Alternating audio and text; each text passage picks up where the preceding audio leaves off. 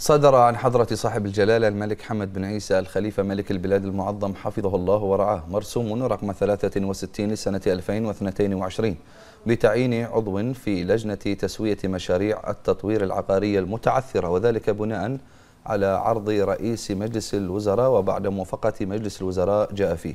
يعين القاضي حسين حميد صالح الصيرفي عضوا في لجنة تسوية مشاريع التطوير العقاري المتعثرة خلفا للقاضي محمد ميرزا محمد أمان.